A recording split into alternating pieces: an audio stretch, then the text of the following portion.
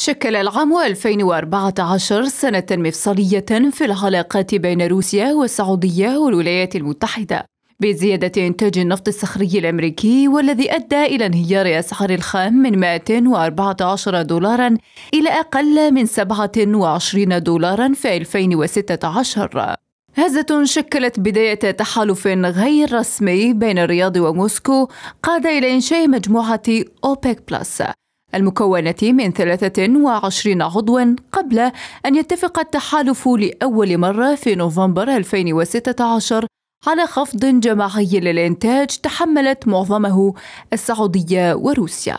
منذ ذلك الحين نجح التحالف في الحفاظ على استقرار أسعار الخام فوق 50 دولارا من 2016 إلى 2020 غير أن أسواق النفط ومعها التحالف واجهت أزمة من نوع جديد بدخول العالم في أخطر جائحة صحية تعصف به منذ قرن. في مواجهة الطارئ الجديد اقترحت السعودية في الخامس مارس من نفس العام على حلفائها في أوبك بلاس تعميق تخفيضات الإنتاج غير أن المقترح جوبها برفض روسي ما فتح الباب أمام أقصى حرب أسعار في تاريخ الصناعة النفطية.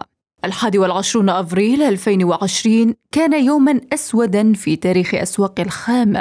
إذ هوى سعر خام برنت القياسي إلى أدنى مستوى له في 21 عاما فيما انهارت أسعار الخام الأمريكي إلى ما دون الصفر لأول مرة في التاريخ.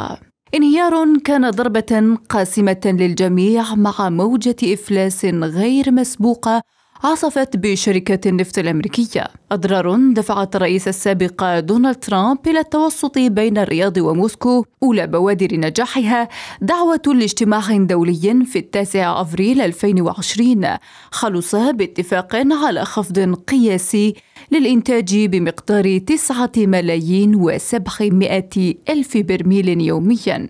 مع تحسن الطلب خلال النصف الثاني من العام الماضي سرع تحالف أوبك بلاس لزيادة ضخ الخام في الأسواق دون أن تواكب الزيادة تعافي الاقتصاد العالمي من جائحة كورونا.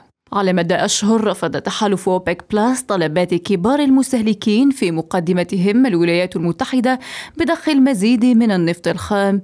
في وقت زادت أسعار الطاقة عن مستوياتها ما قبل الجائحة.